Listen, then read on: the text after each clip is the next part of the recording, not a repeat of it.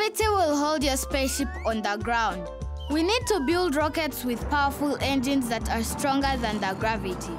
But before we do that, we will begin with a simple rocket powered with air.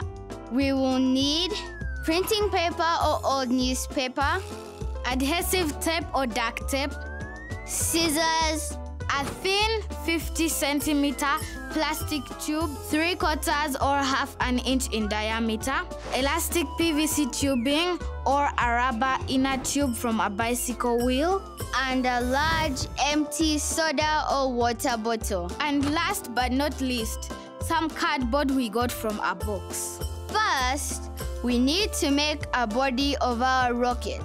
Roll the paper tightly around the plastic tube and glue it with your glue or adhesive tape so it keeps the shape.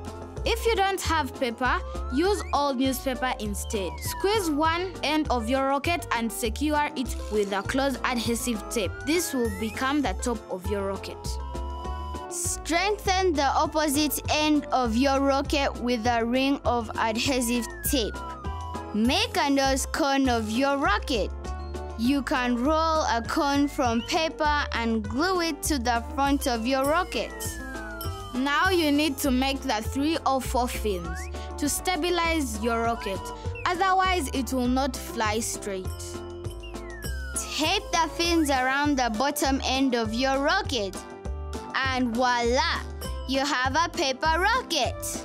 Here is a different rocket made from a bottle.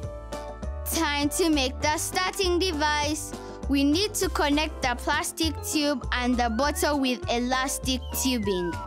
Make sure that both joints are tightly secured with the tape. Otherwise, the air will escape from our starting machine and the rocket will not fly very high. Now it's time to launch our rocket. Remember, always stay safe when performing experiments. Never direct the rocket towards someone or yourself. If you want to be an astronaut, you must be a very careful and responsible person.